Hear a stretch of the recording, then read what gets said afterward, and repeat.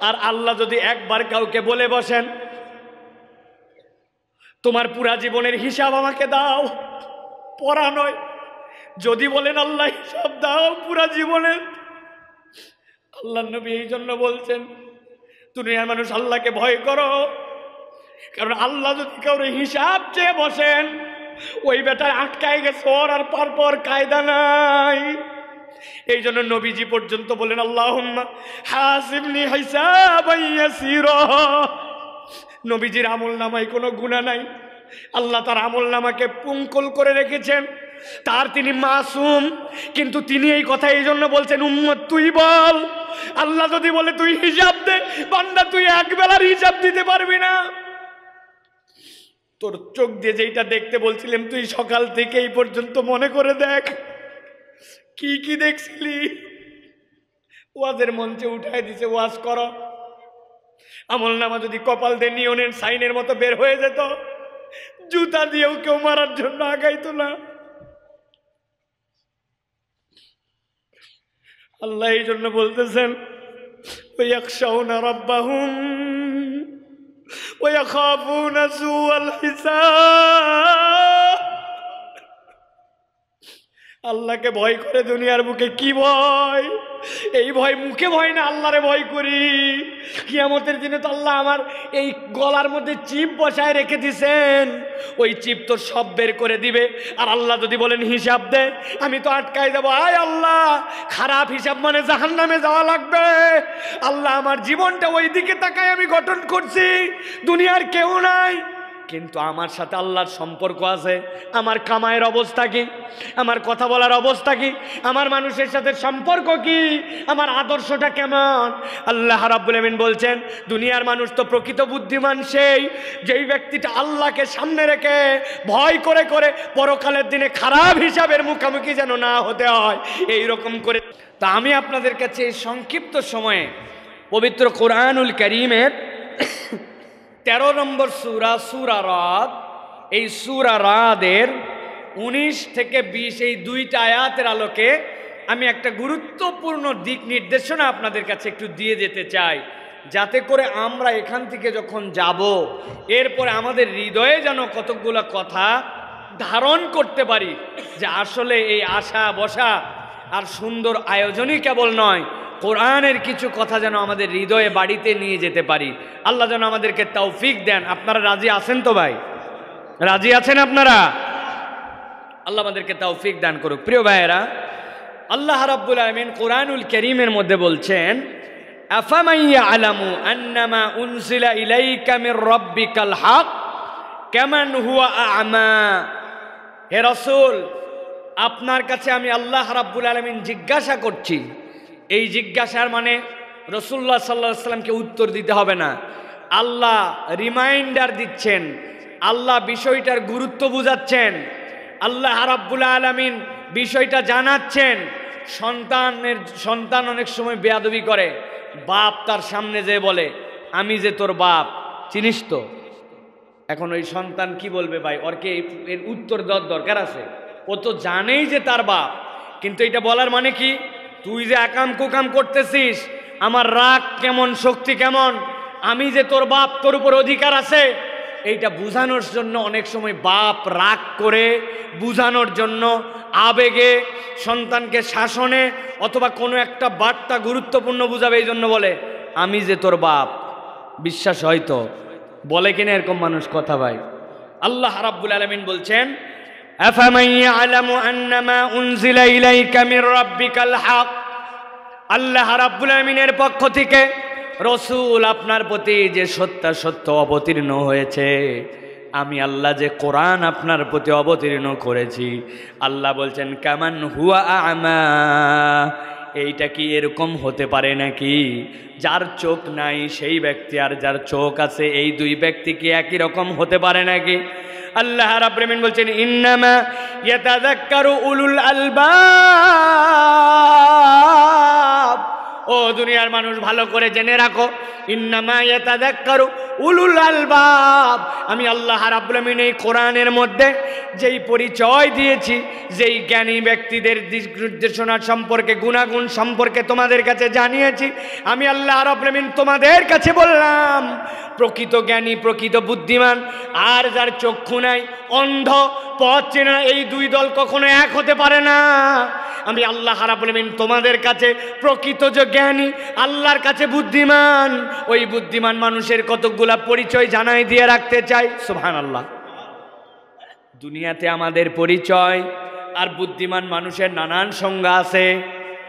মানুষের সাথে জমিতে আল লাগানো আছে, উনি বুদ্ধি করে নিজের জমির মাপ আছে, তার আধা বিঘা কিন্তু প্রত্যেক বছর আল ঠেলে ঠেলে কেটে কেটে বাড়াইছে এক বিঘা। অনেকেই বলে, বাপরে বাপ, কি চালাকের চালাক? রেস্ট্রির মধ্যে যা নাই, জমির পরিমাণ তার থেকে বেড়ে গেছে। দুনিয়ার দৃষ্টিতে হয়তো আপনার, আমার দৃষ্টি এও বুদ্ধিমান, কিন্তু আল্লাহর কাছে কে বুদ্ধিমান? কথা বলেন, বুদ্ধিমান। দুনিয়ায় আমাদের কাছে অনেক ধরনের মানুষ, অনেক ধরনের লাম্পট, অনেক ধরনের চালাক, চতুর বুদ্ধিমানের পরিচয়। কিন্তু আল্লাহ বলছেন, আমি রব্বুল আলমিন তোমার জন্য বললাম, দুনিয়ায় তোমাদের চক্ষুতে যারা বুদ্ধিমান আর আল্লাহর চক্ষুতে যারা বুদ্ধিমান, এই দুইটার মধ্যে সংজ্ঞায় পার্থক্য আছে। আল্লাহ রাব্বুল আলমিন সুরা হাসরের বিশ নম্বর আয়াতের মধ্যে বলছেন, দুনিয়ার মানুষ ভালো করে জেনে রাখো আল্লাহর দৃষ্টিতে যে বুদ্ধিমান, আর দুনিয়ার পরিস্থিতিতে তোমাদের যে বুদ্ধিমান, এই দুই বুদ্ধিমানের মধ্যে পার্থক্য আছে। আল্লাহ বলছেন ওয়া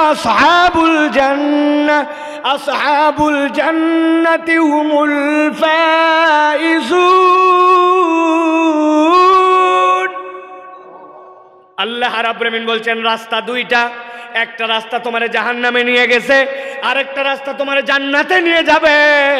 আল্লাহ বলছেন, দেখতে একই রকমই হয়তো তোমার চোখে তুমি দেখতে পারো।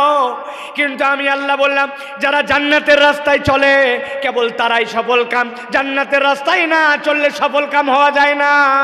রাস্তা দুইটাই থাকার পরে আল্লাহ বলছেন, জান্নাতের রাস্তা সফল কাম। ঠিক একই রকম আল্লাহ বলছেন, বুদ্ধিমান তোমার সেন্সে অনেক থাকতে পারে। কিন্তু আল্লাহর ঘোষণায় যদি বুদ্ধিমানের পরিচয় তোমার গুণে গুণান্বিত না হয়, ওই বুদ্ধিমানের দাম আল্লাহর কাছে এক পয়সাও না। ঠিক কিনা? আল্লাহ রাব্বুল আমিন কোরআনুল কারীমের মধ্যে বলছেন, এই জন্য দুনিয়ার মানুষ ভালো করে জেনে রাখো, আল্লাহ রাব্বুল আমিন যে কামান হুয়া আমা, যাদেরকে আল্লাহ জ্ঞান দিয়েছেন, তারা কি অন্ধ নাকি? কোরআন যারা পেয়েছে, তারা কখনো অন্ধ হতে পারে নাকি? আল্লাহ যে এইটার কথা বললেন, আল্লাহ কোরআনুল কারীমের মধ্যে নিজেই এটার ব্যাখ্যা করেছেন। সুরা আম একশো পঁয়শো পনেরো নম্বর আয়াত আল্লাহ বলছেন, ওয়াতাম্মাত কালিমাতু রাব্বিকা সিদকাও ওয়া আদলা, লা মুবাদ্দিলা লিকালিমাতিহি ওয়া হুয়াস সামিউল আলিম। কোরআনের জ্ঞান কেন ইউনিক? কোরআনের জ্ঞান কেন আলাদা? আল্লাহ বলছেন, এটা আল্লাহর পক্ষ থেকে আসছে। তাম্মাত কালিমা, আল্লাহর কালিমা পূর্ণাঙ্গ। আল্লাহ বলছেন কেবল এরকমই নয় সিদ কৌয়া আদলা। আল্লাহ রাবলামিন বিধানের মধ্যে শীত গাছ এবং আদল আছে। ব্যাখ্যা করলে শীতকার আদল বোঝাতে তিরিশ মিনিট লাগবে। শীতকার আদল একটা ছোট্ট কেবল উদাহরণ দেয়, একটা শীতকের একটা আদলের। চল্লিশ চল্লিশ সেকেন্ড করে বুঝে নেন। আপনার গ্রামে ধরেন কোনো একটা লোক তিনজন মানুষকে মেরে ফেলেছে, বিচারের মধ্যে গেছে। জজ, ব্যারিস্টার, উকিল সবাই মিলে সত্য তার সাক্ষ্যটা দেওয়ার পরে বিচার হয়ে গেছে। তিনজন মানুষ হত্যার কারণে ওরে ওই ওই বিচারক তারে ফাঁসি দিয়ে ঝুলায় হত্যা করার নির্দেশ দিয়েছে।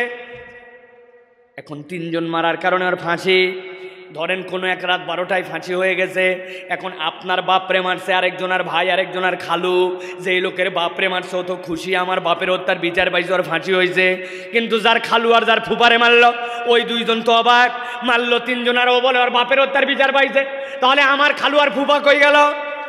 দুনিয়ার কোনো বিচারক একবার একজনের ফাঁসি দেওয়ার পরে দ্বিতীয়বার তার বিচার করতে পারবে। ও ভাই, আপনারা কথা বলেন না কেন, বুঝলাম না। পারবে? আল্লাহ রাব্বুল আমিন বলছেন, আদল বোঝো। আল্লাহ রাব্বুল আমিন তাকে হত্যা করবেন, আবার জীবন দিবেন। আবার হত্যা, আবার জীবন, আবার হত্যা, আবার জীবন। এই ক্ষমতা আল্লাহ ছাড়া কারও কাছে নাই। আল্লাহ বলছেন, আমি কোরআন তোমাদের জন্য যেইটা দিলাম, দুনিয়ার প্রত্যেকটা কিতাবের, প্রত্যেকটা বিধানের এডিশন লাগে। আমাদের সংবিধান প্রত্যেক বছরে বছরে সংশোধন হয়। আপনার প্রত্যেক বছরের গাইড বই যেগুলো বের হয় বিসিএস এর জন্য মেডিকেলের জন্য, প্রত্যেক বছরের এডিশন লাগে। লাগে কি না? আল্লাহ বলছেন ওয়া তাম্মাত কালিমাতু রাব্বিকা সিদকাও ওয়া আদলা। আল্লাহর কালাম হচ্ছে সিদকার আদল দিয়ে ভরা। এইটার কোনো এডিশন লাগে না, পরিবর্তন লাগে না। এই জন্য আল্লাহ বলছেন, আল্লাহর কোরআনের জ্ঞানে জ্ঞানী যারা, আর যারা অন্ধ, এই দুই দল কখনো এক হতে পারে না। আল্লাহ কোরআনে অন্য জায়গায় বলেছেন, লা ইয়াস্তাউই আসহাবুন্নার যেরকম আল্লাহ রাব্বুল একই রকম ভাবে বলছেন, রসুল আপনি জিজ্ঞাসা করেন, দুনিয়াতে যারা জানে আর যারা জানে না, এই দুই দল কি এক হতে পারে? মুবাসেররা ব্যাখ্যা করছেন, জানে মানে কি? একজন বিশাল বড় ইঞ্জিনিয়ার এত বড় ইঞ্জিনিয়ার বাংলাদেশের সবচেয়ে বড় বড় প্রজেক্ট সে পাইছে। তার ইঞ্জিনিয়ারিং জ্ঞানের কোনো অভাব নাই। কিন্তু আরেকজন লোক, ওই ইঞ্জিনিয়ারই কিন্তু ইঞ্জিনিয়ারের মধ্যে আল্লাহর পরিচয় নাই। ওই জন্য যখন ব্রিজ করে কালভার্ট করে, রাস্তা বানায়, সব জায়গাতে ধোকা দেওয়ার চেষ্টা করে। ও চিন্তা করে, সরকারের ফাঁকি দিলাম, জনগণের ফাঁকি দিলাম, আসলে তো ফাঁকি কাউরে দেয় না, ফাঁকি নিজেকে দেয়। ঠিক না মানে বোঝা যায়, উনার অন্তরের মধ্যে কোরআন নাই, উনার অন্তরের মধ্যে এই আলো নাই। আল্লাহ এই জন্য বলছেন, জানা মানে রবকে চেনা, আর জানা না মানে তুমি যত বড় পণ্ডিত হও, তুমি যদি তোমার সৃষ্টিকর্তাকে না চেনো, ওই ব্যক্তির দাম আল্লাহর কাছে নাই। এবার চলেন, আল্লাহ রাব্বুল আমিন বলছেন, সুরা রদ মনে থাকবে? বলেন, পড়া দিয়ে যাচ্ছি। কি সুরা? নাম, সবাই নাম বলেন। সুরার নাম কি? পড়া দিচ্ছি আপনাদেরকে। সুরা রাত তেরো নম্বর সুরা, উনিশ, বিশ, একুশ, বাইশ, চারটা আয়াত পড়বেন। পড়বেন? পড়বেন? বাড়িতে যেয়ে বাংলা বের করে পড়বেন। আল্লাহ রাব্বুল আলামিন কি বলছেন? ইন্নামা ইয়াতাযাক্কারু উলুল আলবাব। আমি রব্বুল আমিন বুদ্ধিমান মানুষের কতগুলা পরিচয় দিয়ে রাখি। চলেন আমরা সংক্ষিপ্ত দশ মিনিট একটু মিলায় দেখি, আমাদের সাথে এই গ্রুপের মিল আছে কিনা। আল্লাহ বলছেন, এক নম্বরে আল্লাদিনা দুনিয়ার বুকে এক নম্বর বুদ্ধিমান মানুষ যারা তাদের পরিচয় হচ্ছে, তারা আল্লাহর সাথে কৃত ওয়াদাগুলার, কি হলো ভাই? আপনি এখানে কেন?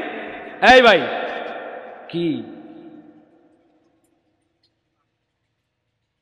স্মার্ট হন, আমি সব জায়গায় বলি, বি স্মার্ট। সারা পৃথিবীতে যাবে আলোচনা। পাবলিক বলবে কাসেম ভাইয়ের মাহফিলে একটা লোক ছিল, এ টুপি নিয়ে সামনে, ক্যামেরার সামনে ঘুরতেছিল। এই জায়গার লোকের মাথা ঠিক নাই বলবে।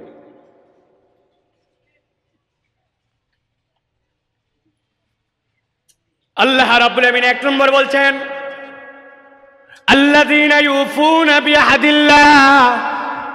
এক নম্বর এই গ্রুপের পরিচয় হচ্ছে, যারা আল্লাহ রাব্বুল আমিনের সাথে তাদের যে ওয়াদা, এই ওয়াদাটা সে পূরণ করে। আল্লাহর সাথে আপনি আমি কি ওয়াদা করছি? জানেন আপনার আল্লাহর সাথে আমাদের ওয়াদা কি? আল্লাহ নিজে ব্যাখ্যা করছেন, দেখেন তো ওয়াদা আপনি করছেন কিনা? আল্লাহ রাব্বুল বলছেন, ওয়া ইদা খাযা রাব্বুকা মিন বানি আদামা মিন যুহুরিহিম যুররিয়াতাহুম ওয়া শাহাদাহুম আলা আনফুসিহিম, আলাস্তু বিরাব্বিকুম? ক্বালু বালা।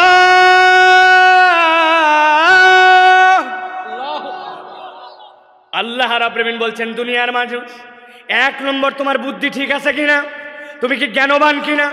কোরআনের জ্ঞানে জ্ঞানবান কিনা? প্রমাণ মিলাও। কি প্রমাণ? আল্লাহ বলছেন ওইদা কাদার রব্বুকা মিম্বানি আদম। বনি আদমের সকল জন সন্তানগুলাকে এবং তাদের উত্তরাধিকারকে আল্লাহ রাব্বুল যখন তাদের রুহের জগৎ ছিল, ওই রুহের জগতের সবগুলাকে তার হাতের তালুর মধ্যে নিলেন।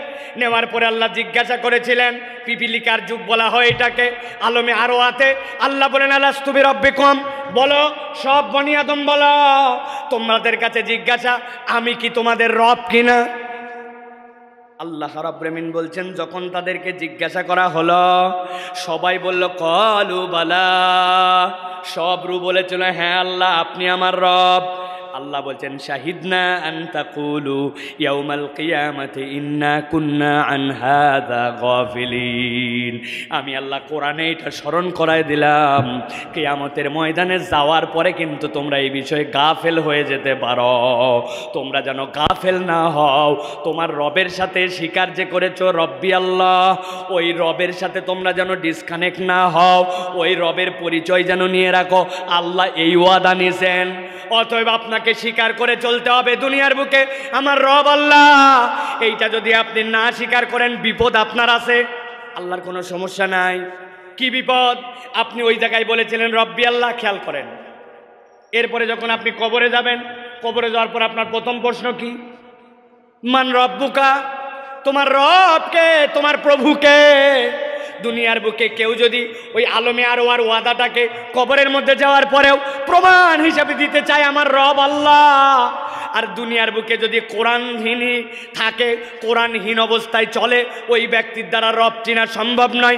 এই জন্য আল্লাহ বলছেন, যে আলমে আর ওয়াতে আমি রবের পরিচয় নিলাম। কবরে যাওয়ার পরে প্রথম পরীক্ষা জিজ্ঞাসা করব যে এই প্রশ্ন। আমি সেই আল্লাহ বললাম, কোরআন খোলার সাথে সাথে আলহামদুলিল্লাহ রব্বিল আলামিন।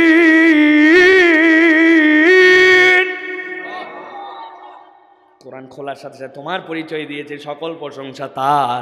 ওয়ালিল্লাহ আসমাউল হুসনা। আল্লাহ নবী নিরানব্বইটা নাম বলে গেলেন, কিন্তু আল্লাহ কোনো নাম না বলে বললেন, রব্বিল আলামিন। এই জন্য আল্লাহর সাথে ওয়াদা ঠিক রাখতে চাইলে ওই ওয়াদা আর কবরের প্রশ্নের উত্তর, এর মাঝের জীবনটা রবের পরিচয় চলতে হবে। আর রবের পরিচয় কোরআন ছাড়া কোনো মানুষ প্রকৃত পেতে পারে না। না? আল্লাহ নবীর কাছে এসে জিজ্ঞাসা করছিল, আমাদের লাতুজ্জামানাথ বলে এই যে মূর্তি যেগুলা এদের বংশ তালিকা আমরা জানি। উনসুবলানা ইয়া মুহাম্মদ। মুহাম্মদ, আমাদের কাছে তোমার রবের পরিচয় দাও। তোমার রবের বংশ তালিকা বলো। আল্লাহ নবীর কাছে এটা বলার সাথে সাথে আয়াত আসে নাই। দীর্ঘ আলোচনা দীর্ঘ আলোচনা। নেট থেকে দেখে নেবেন আমার। সুরা এখলাসের তাফসির জুমার মধ্যে বলা আছে আল্লাহ রাবুলামিন কোরআনুল করিমে যেখানেই তার পরিচয় দিয়েছেন, জোড়ায় জোড়ায় এসেছে, আজিজুন হাকিম, রউফুর রাহিম, গফুরুর রাহিম, রহমানুর রাহিম, একমাত্র সুরা এখলাস খালি গড়গড়ায় তো পড়লাম। আল্লাহ বলছেন কুলহু আল্লাহু আহাদ, আল্লাহ সামাদ লাম ওয়ালামিউলাদ ওয়ালাম ইউলাদ। আল্লাহ যেরকম হাত বলেছেন, সামাদ বলেছেন, একটার অধিক কোনো সিফাত ব্যবহার করেন নাই। মুফাসেররা বলছেন, আল্লাহর আহাদ আর সামাদ, এই সিফাতের পরে আল্লাহর কোনো পরিচয় লাগে না। দুনিয়ার সব সিফাত আল্লাহর মধ্যে ঢুকায় রাখছেন, সুবহানাল্লাহ। আল্লাহ এই জন্য বলছেন, তুমি তোমার রবের সাথে যে ওয়াদা করেছ, ওই ওয়াদা যদি ঠিক রাখো তুমি বুদ্ধিমান। এখন দুনিয়ায় তো অনেক বুদ্ধি নিয়ে চলে, কিন্তু আল্লাহরে মানে না, যে যত বড় ডাক্তার, যে যত বড় ইঞ্জিনিয়ার, যে যত বড় বাহাদুর, সে তত বড় ইসলাম বিরোধী। ঠিক কিনা? এরকম তো হওয়ার কথা নয়। আল্লাহ বলছেন, তাহলে তুমি প্রকৃত তোমার রবের জ্ঞানের থেকে ডিসকানেক্টেড দুনিয়ার সব মানুষ তোমাকে বুদ্ধিজীবী বলতে পারে, কিন্তু আল্লাহর কাছে গবরজীবী হিসাবে তোমার নাম অঙ্কিত। তোমার মাথায় বুদ্ধি নেই, তোমারটা গবর। গবর বললেও বিপদ আছে। গরুরা তো মুসলমান। গরু আল্লাহর কাছে আপত্তি করবে, আমার গোবরকে আপনি?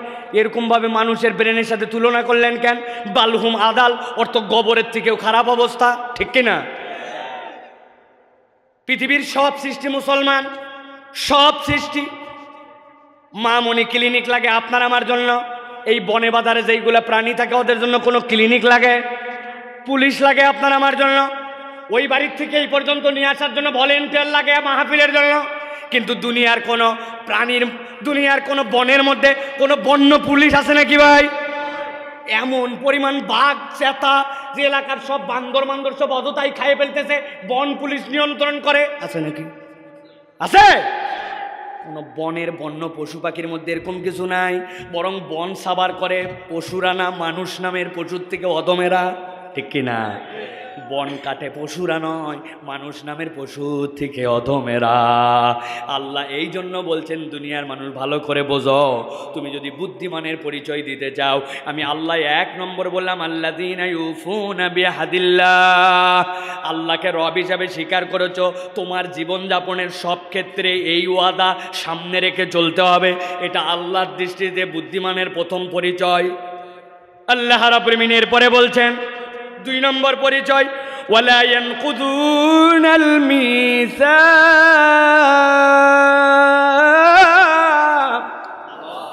দুনিয়ার মানুষ যখন একজনের সাথে আরেকজন প্রতিশ্রুতিবদ্ধ হয়, ওয়াদাবদ্ধ হয়, একজনের সাথে আরেকজন কোনো ওয়াদা করে, আল্লাহ বলছেন, বুদ্ধিমান মানুষ, আল্লাহর কাছে দামি মানুষ তো তারা, যারা দুনিয়ার কোনো মানুষের কাছে ইচ্ছাকৃতভাবে অথবা খামখেয়ালির কারণে কোনো রকমভাবে ওয়াদা খেলাপ করে না।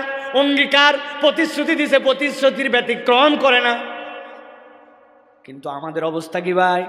কথায় কথায় কসম, আল্লাহর কসম, চোখের কসম, মায়ের কসম, ও জাইনে বুঝেই আগের থেকেই ওয়াদা করে যে ওয়াদা না করলে বিশ্বাস করবে না, কিন্তু কথাটা মিথ্যা মিথ্যা জেনেই প্রতিশ্রুতি দেয়।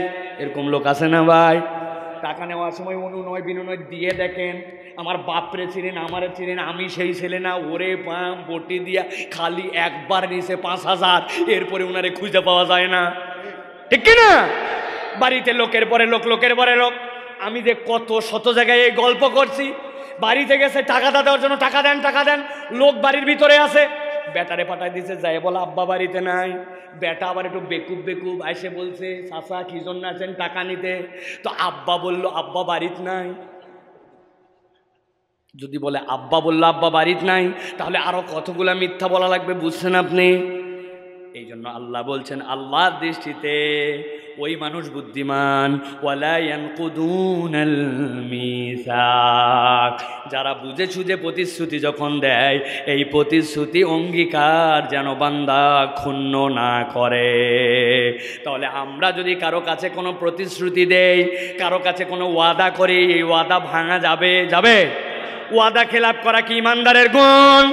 না, ওয়াদা খেলাপ করা মুনাফেকের গুণ। অতবে ইমানদার মাত্র বুঝে সুঝে প্রতিশ্রুতি দিবে, হুটহাট করে প্রতিশ্রুতিও দিবে না, করতে পারবে না ইচ্ছা মতো ইশতেহার। আগামী নির্বাচনে যদি জিতে যায়, এ করব, সে করব, ও বাবা, তুমি যে বিগত ২০ বছর, পনেরো বছর ছিল, তখন কি কসু করছ তুমি? তার মানে পাবলিক বুঝে ফেলছে তোমার এই প্রতিশ্রুতি মিথ্যা। ঠিক না অত প্রিয় ভাইরা, খুব সাবধান। ইমানদার কোনো ভুয়া প্রতিশ্রুতি দিবে না, কোনো রকম মিথ্যা প্রতিশ্রুতি দিবে না। আল্লাহ বলছেন, যদি মিথ্যা প্রতিশ্রুতি দেয়, ওই লোক দুনিয়ার কাছে অনেক জ্ঞানী হতে পারে, কিন্তু আল্লাহর কাছে তার কোনো জ্ঞানের দাম নাই। ঠিক না আল্লাহ বলছেন, এরপরে তিন নম্বরে আল্লাহ রাব্বুল বলছেন, জ্ঞানী মানুষের পরিচয় হবে।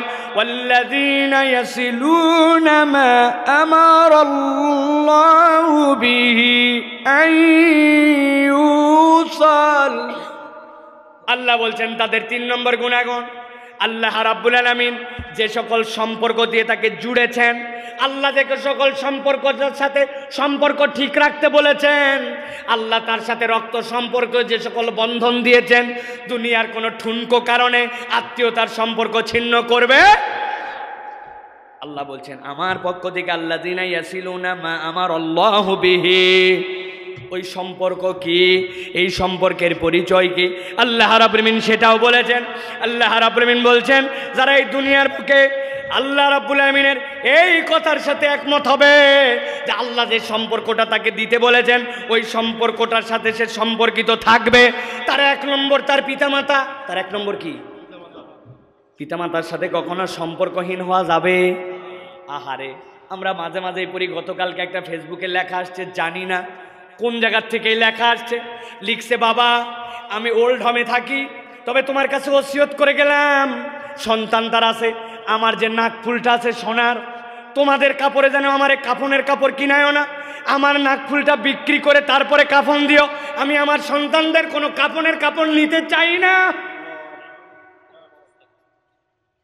আহ, নিজের বাপ, নিজের মা নিজের আপনজন, নিজের সম্পর্কিত আত্মীয় স্বজন, দূরে অনেক অনেক লাখ লাখ টাকা দান করে। মসজিদে দান করে উনি দানবীর, গোরস্থানে দান করে এলাকার মধ্যে মহাবীর। নানান ধরনের তার পিকার ফ্রেন্ডের সাথে ওনার প্রতিদিন চ্যাট হয় এফবি ফ্রেন্ড আর ওনার আপন ভাইয়ের নাম ভুলে গেছে। আছে না এরকম?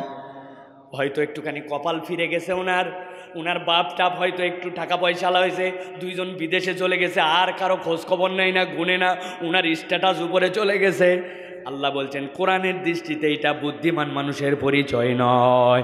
আল্লাহ বলছেন আমার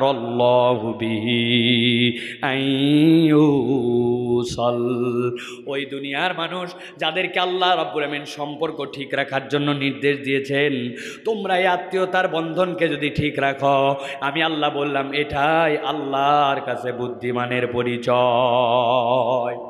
তাহলে পিতামাতার সাথে সম্পর্ক ঠিক রাখা লাগবে কিনা একটুখানি কল্পনা করেন ও ভাই আমার। আধুনিক যুগের যেই সকল পোলাপান, যাদের বয়স আজকে দুই বছর, তিন বছর, চার বছর, ওদের মাও কষ্ট কম, আর ওদের ফিলিংসও কম। এই কাসেম ভাইয়ের মা, আমাদের মা, ওই যে বসে আছে, আজ থেকে তিরিশ, চল্লিশ বছর আগে যখন আমাদেরকে বাল পালছে, তখনকার যুগে ডায়াপার ছিল না। ছিল।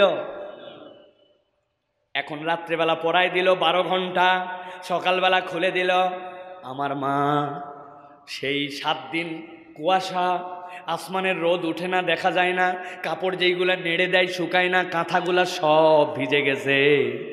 অনেক কষ্ট করে তিনটা চারটা কাঁথা চুলার উপরে ধরে ধরে শুকাইছে। শীত কনকনা হার কপানো শীত।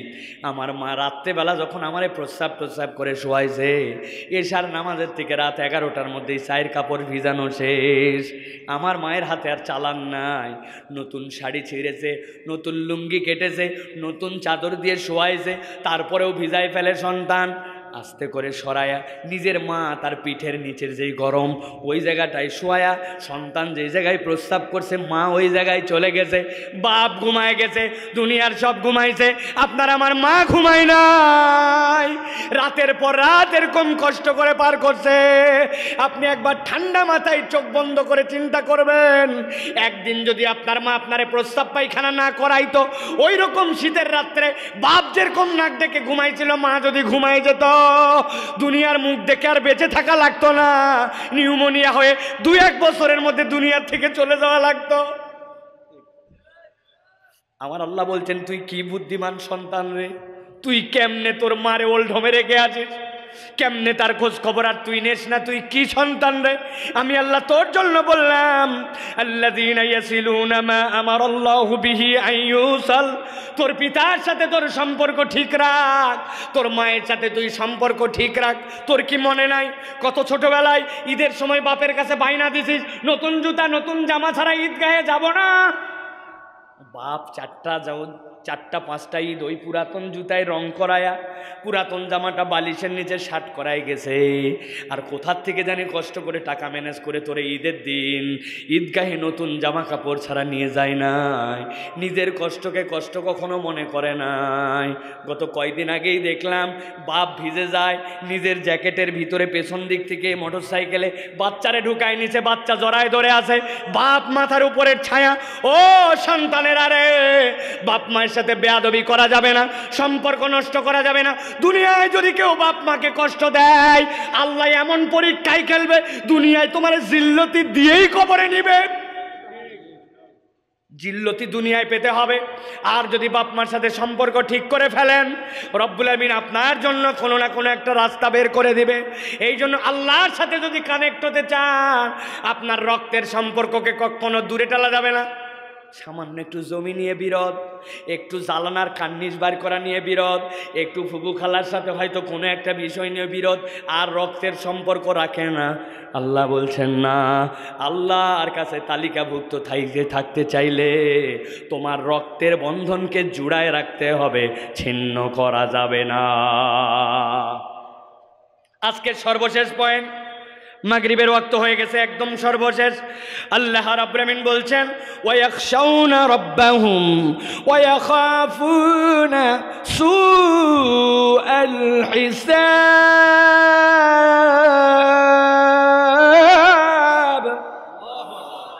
আমার আল্লাহ রাব্বুল আমিন বলছেন আর ওই মানুষগুলা বুদ্ধিমান। বুদ্ধিমান মানুষের পরিচয়টা কি হবে? আল্লাহ বলছেন ওয়া খাফু ওয়া শাউনা রব্বাহম। তাদের যেই রব তাদের থেকে ওই ওই রুহের জগতে সাক্ষ্য নিয়েছিল। তাদের যেই রব রবের পরিচয় কোরআনে প্রথম দিয়েছিল। তাদের যেই রব কবরে যাওয়ার পরে রবের পরিচয় জিজ্ঞাসা করবে। বান্দা দুনিয়ার বুকে ওই এক শাউনা রব্বাহম। দুনিয়ায় কাউরে না ভয় করুক। আল্লাহরে ভয় করে চলবে। ভয় কাকে করবে? জোরে বলেন, কাকে? আল্লাহ বলছেন, আর একটা জিনিস ভয় করবে আল্লাহকে ভয় করার সাথে সাথে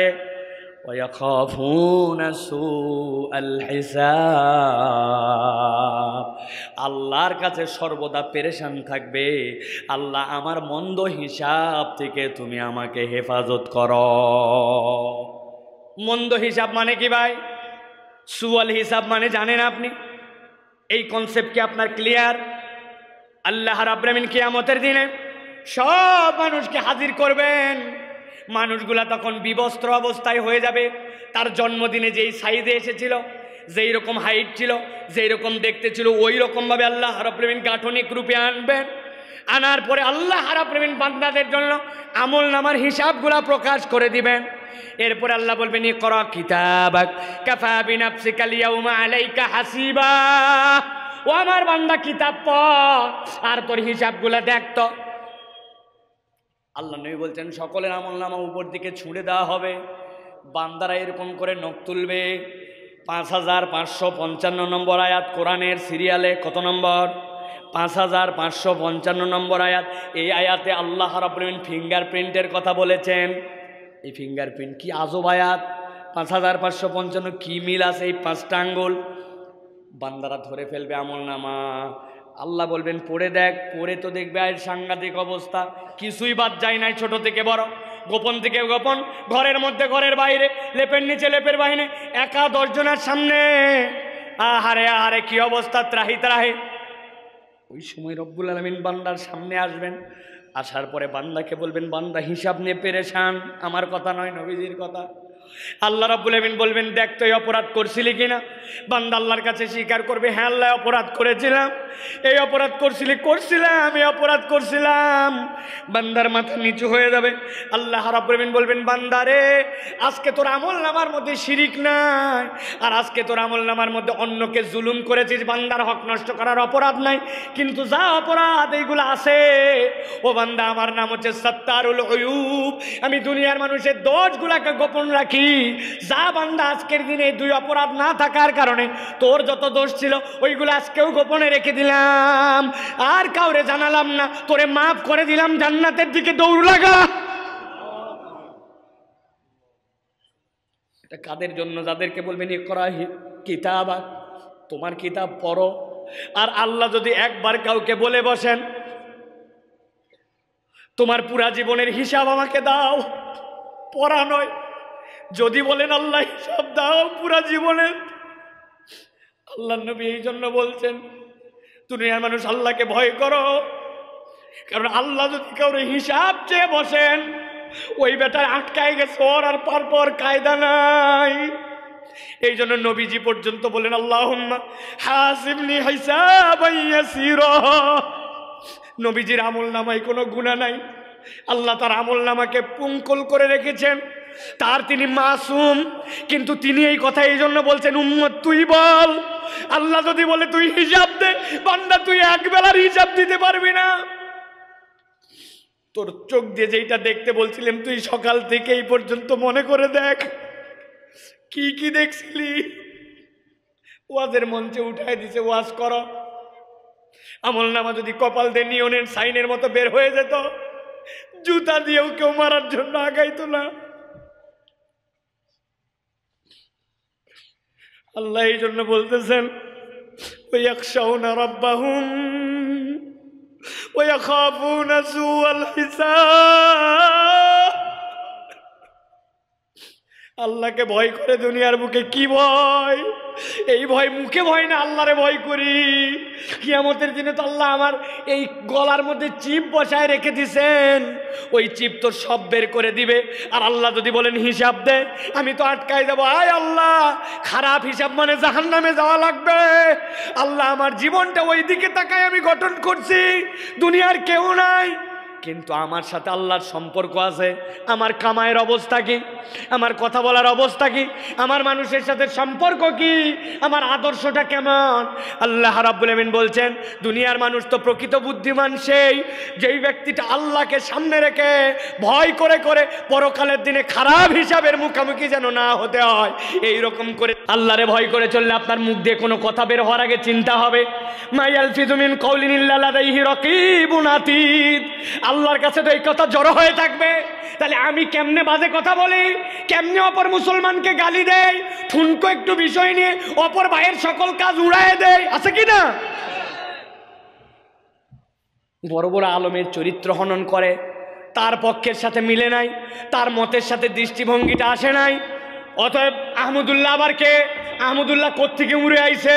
আহমদুল্লাহরে উড়ায় দাও, আরেকজনরে উড়ায় দাও, আরেকজনরে বাদ দিয়ে দাও। এরকম আমাদের আমল আছে কিনা ভাই? একটা মানুষের পুরা জীবনের সব কিছুই সঠিক হতে পারে না। আপনার আমার যেরকম ভুল হয়, সকলেরই কম বেশি ভুল হয়, ইমানদারের চরিত্র হবে। সমালোচনা যদি আপনি করতে চান, তাহলে আপনাকে বুঝে সুঝে তার যে ভুল ওইটুকু ধরায় দেওয়ার নিয়তে করা লাগবে।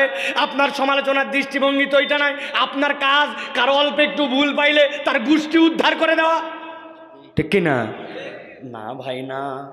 একটু নিজেদের দিকে তাকায় কথা বলার সময় হিসাব করে কথা বলেন। কান দিয়ে শোনার সময় একটু হিসাব করে শোনেন।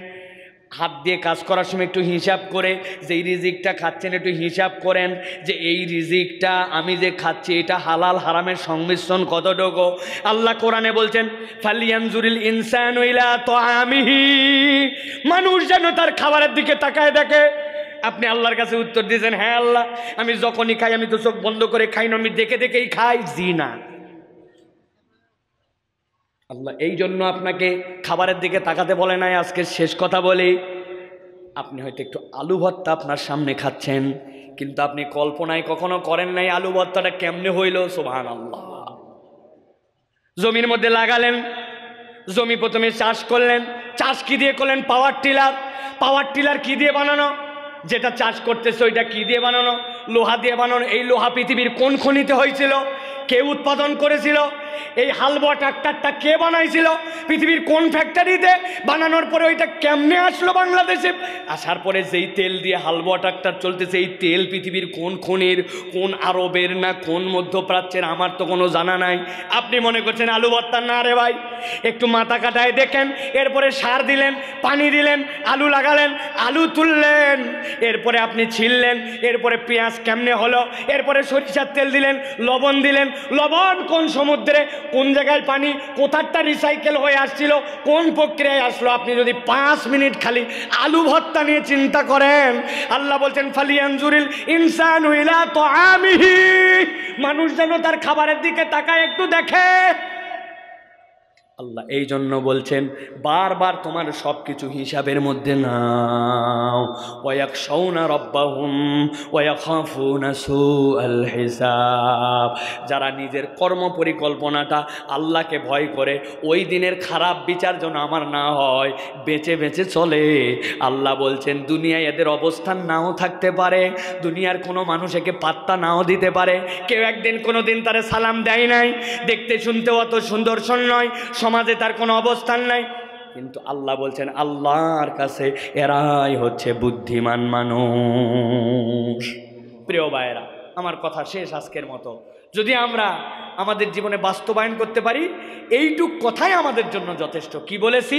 আল্লাহ রব এই রবের পরিচয়ের সাথে ডিসকানেক্ট হওয়া যাবে না। এরপরে বলেছি আপনাদের কাছে ওয়াদা খেলাপকারী ইমানদারের চরিত্র হবে না। তিন নম্বর বলেছি রক্ত সম্পর্কীয় আত্মীয়তার বন্ধন ছিন্ন করা যাবে না।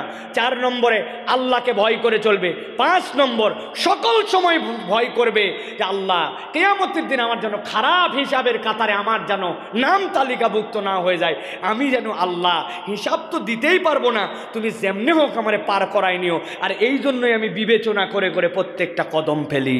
এইটা যদি করে চলতে পারি, আল্লাহ রবীন্দ্র বলছেন, কোরআনের দৃষ্টিভঙ্গিতে এরাই বুদ্ধিমান। উলুল আলবাব, এরা আর যারা অন্ধ এই দুই দল এক হতে পারে। আল্লাহ আমাদেরকে কথাগুলি বোঝার তৌফিক দান করেন, বলেন আল্লাহ আমিন। আল্লাহ আমাদের সকলের জীবনে কল্যাণকর জীবন দান করেন, বলেন আল্লাহ আমিন।